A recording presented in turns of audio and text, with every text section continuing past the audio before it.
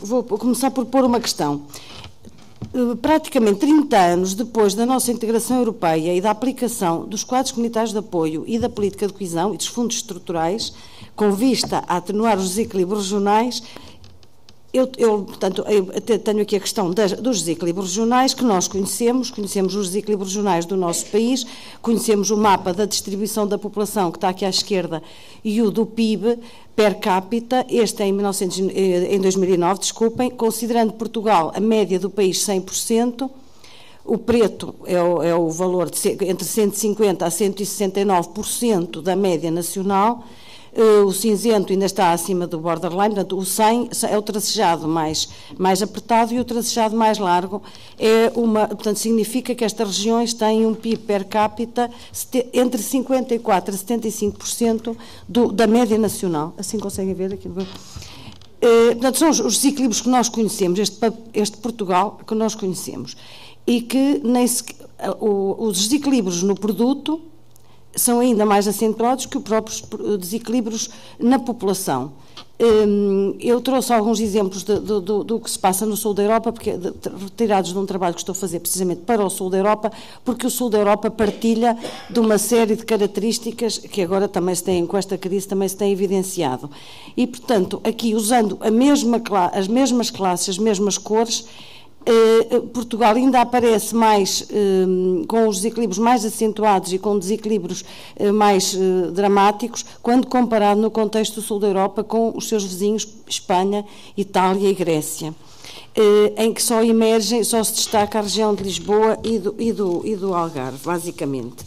Ora, eh, sabendo que no, no princípio da, da, da, integração europeia e no, no lançamento dos primeiros quadros comunitários de apoio, entre 80, no final dos anos 80 e nos princípios dos anos 90, registou-se alguma convergência, registou-se algum, uh, algum upgrading global do país, nós conhecemos esse upgrading global do país e das regiões globalmente, e também alguma convergência, mais ao nível dos países do que ao nível das regiões. Portanto, a nível das regiões, eh, as, as, as, não só não se atenuaram, como se foram agudizando por um conjunto de razões, entre as quais os efeitos, os efeitos centrípetos do processo de integração, eh, a concentração das atividades económicas eh, e dos, dos, segmentos mais amontantes das cadeias de valor, aqueles que geram, que controlam as próprias cadeias de valor nas regiões centrais da Europa, nas grandes cidades e nos grandes, nas, nas áreas urbanas industriais do coração da Europa, a falta de mobilidade das populações, o fim do declínio do emprego agrícola no sul da Europa, todo um conjunto de fatores que nós conhecemos, a ineficiência da política de coesão, temos sempre que reconhecer, e também, na, na, isto é um modelo muito, que se evidencia muito no sul da Europa, uma proteção artificial de algumas regiões. Há todo um conjunto de regiões que nós conhecemos no nosso país também e que, e que existem, eh, conseguimos encontrar de forma, eh, que tem uma grande, são um grande segmento em toda o sul da Europa, que foram artificialmente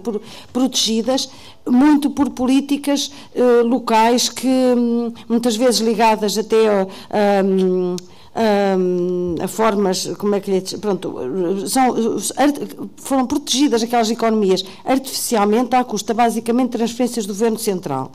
Portanto, os políticos locais e a opinião pública foram exigindo transferências do, do, do Governo Central para a, criação, portanto, para a criação, sobretudo, de emprego público, como uma forma de ultrapassar a sua falta de competitividade e a sua integração numa economia global, globalizada e integrada inter, internacionalmente. Portanto, estas, estas, estas eh, regiões foram mantidas artificialmente eh, um pouco isoladas, não, não, não, não foram lançadas na concorrência global e, portanto, uma vez entradas em crise, afundam-se terrivelmente. E nós temos situações dessas eh, sobre, em algumas das regiões do país. Portanto, por um lado, esta situação, no caso, portanto, globalmente no sul da Europa, em relação a Portugal especificamente, Portanto, eu tenho aqui alguns valores, também não é, não é muito importante. Em relação a Portugal, especificamente, eh, nós podemos lançar esta questão. Como é que Portugal, se isto era minha, portanto, o, meu raciocínio, o meu argumento vem, partiu desta, desta hipótese. Vamos analisar de que forma é que, é que Portugal eh, se inseriu na Divisão Internacional de Trabalho em três momentos históricos. Nas vésperas do 25 de Abril, portanto, no fim da ditadura, nas vésperas da integração europeia e, atualmente, ou depois da, da aplicação de dois ou três quadros comunitários de apoio. E uh, o que nós conhecemos, de, de, pronto, o, o, nosso atraso estrutural e a forma como nós nos integrávamos uh, no, no durante o fascismo no, na Divisão Internacional de Trabalho, conhecemos-la, é estudada e sabíamos quais, são as quais eram as nossas fragilidades e de que forma é que nós nos tínhamos, uh, nos estávamos a inserir e o processo de industrialização dos anos 50, tardio, etc. A partir do momento em que, portanto, que entramos na, na, União Europeia, qual foi, eh, portanto, de que, for, de que forma é que se, se processou essa, integra, essa inserção no, no, na Divisão Internacional de Trabalho. Portanto, o que é que fazíamos, o que é que produzíamos, como e aonde, como vivíamos, de que forma funcionava o Estado Social, de que falou já o professor Avalas Nunes, como é que isso foi funcionando e como éramos em termos de capital humano. Eh, porque por trás de todo este meu argumento há aqui uma, uma questão de fundo, que, que aliás era o mote da minha fala, e que era a relação entre o capital humano e o upgrading regional.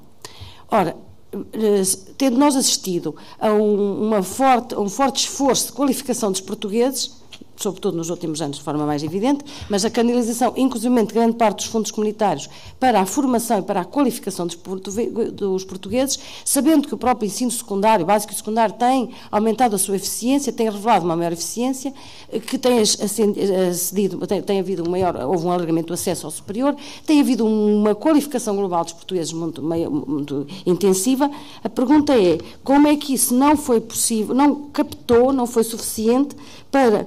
captar atividades correspondentes a esse nível de qualificação dos portugueses, antes, pelo contrário, temos vindo a assistir a um cada vez maior eh, fuga de, de, de diplomados eh, para fora do país. Eh, portanto, havendo essa ligação entre o capital humano e eu acho que também já eu não, não, não, não registrei meias horas, mas para não me alongar muito, portanto, é, é, é, na questão de enquadramento teórico, digamos assim, da ligação entre o capital humano e as atividades económicas, portanto, ao contrário daquilo que seria expectável, de um upgrading da economia do país ao encontro da nossa, da qualificação dos portugueses, registrou-se precisamente o contrário. não só não temos, não só não temos eh, não, não houve essa capacidade para atrair atividades eh, de maior valor acrescentado e de, de que exigissem melhor qualificação, como, eh, portanto, subaproveitou-se essa qualificação, como todo o modelo de desenvolvimento do país assentou no reforço das atividades mão de obra intensivas, numa, aquilo que eu poderia chamar quase numa, numa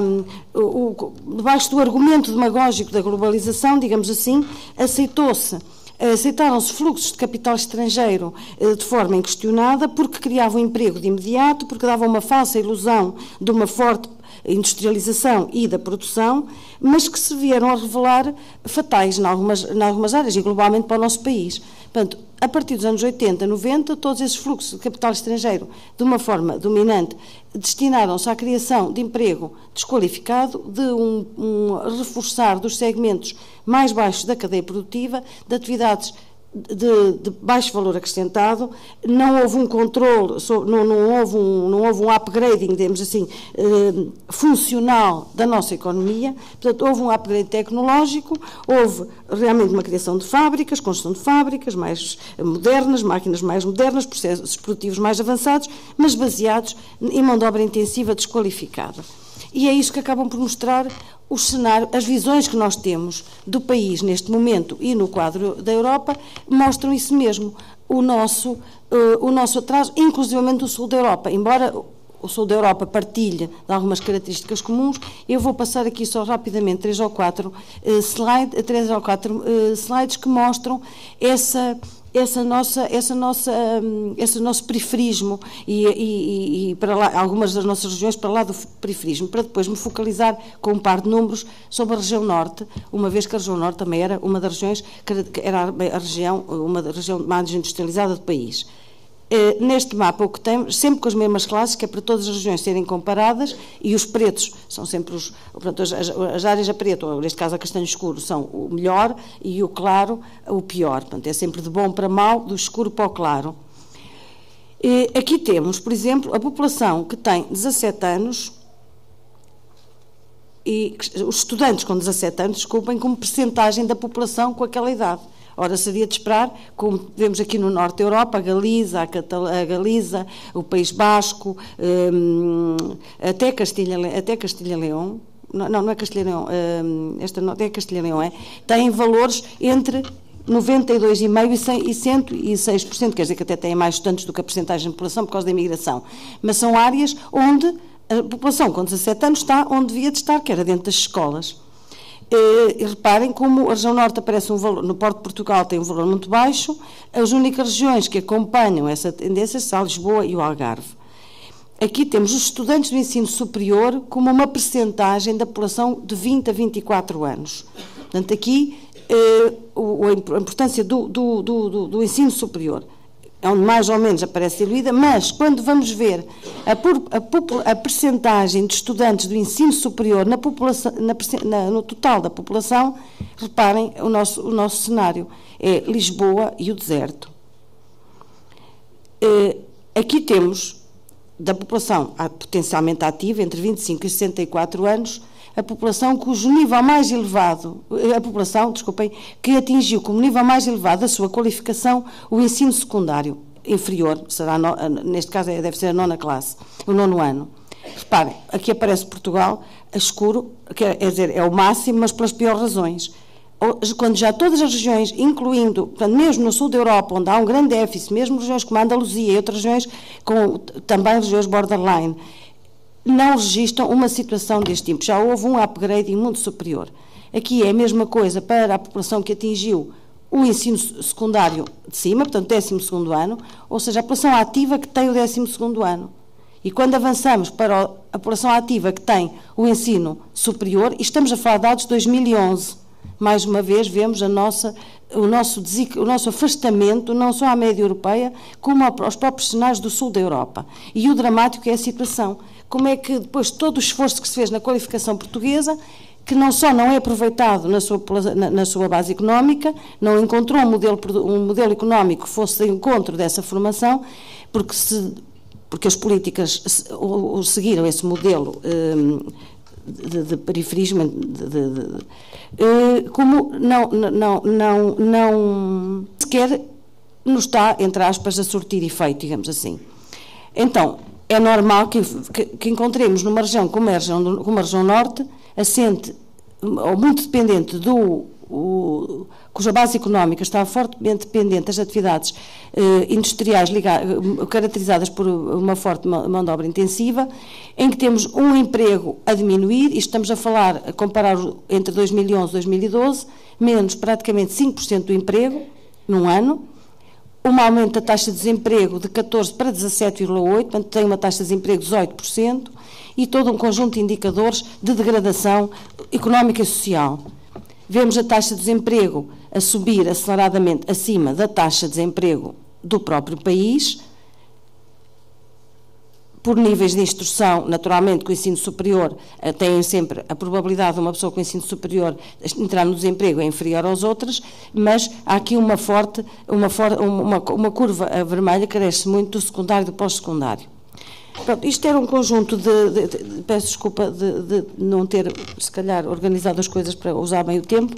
mas um pouco os cenários, temos que olhar para os cenários atuais, para a situação que está e perguntar como é que chegámos aqui que políticas nos levaram aqui, iludindo-nos, eu, portanto, no fundo o meu argumento de fundo é um pouco este, como é que, à custa de, portanto, a partir deste, deste aceitar os grandes fluxos de capital estrangeiro para a criação de emprego desqualificado, eh, com uma, uma falsa ilusão de, uma, de, uma, de, uma, de um desenvolvimento eh, industrial económico e uma política que confundiu, que, que confundiu não, que privilegiou o crescimento económico imediato com determinados eh, para com, determinados, uh, com determinadas prioridades, em detrimento de uma política distributiva e de real desenvolvimento do país. Então, o que é que nós podemos, que, que, que, cenários prospectivos podemos antecipar quando isto agora se passa dentro de um grande cenário de crise e de falta de dinheiro? Como podemos inverter as tendências atuais e como,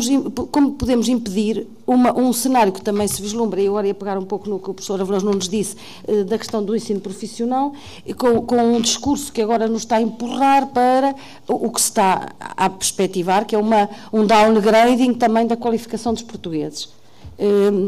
Eh, não porque haja doutores a mais, como, como, como se diz, mas porque afinal, à custa de dizer afinal nem temos doutores a mais, então já não precisamos, vamos ter isso, o perigo que há num, num, num discurso deste tipo. portanto, como podemos inverter esta situação e como poderemos dinamizar a nossa base económica e não aceitar uh, políticas uh, demagógicas é uma palavra um pouco forte, mas uh, temos que compreender, portanto, o, o, no fundo precisamos todos nós de perceber bem as políticas para as podermos aceitar ou discutir. Obrigada.